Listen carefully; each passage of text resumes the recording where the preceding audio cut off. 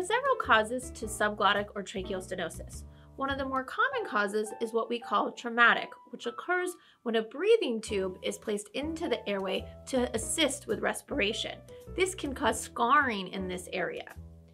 Other causes can be related to systemic diseases like Wegener's granulomatosis or other rheumatologic conditions. There is also a cause of subglottic stenosis, which we call idiopathic. It is a type that we don't know what the underlying cause is, but commonly affects females in the Middle Ages.